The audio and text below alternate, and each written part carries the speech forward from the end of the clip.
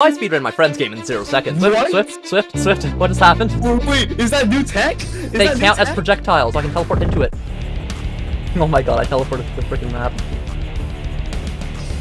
I knew it, bro. I knew it.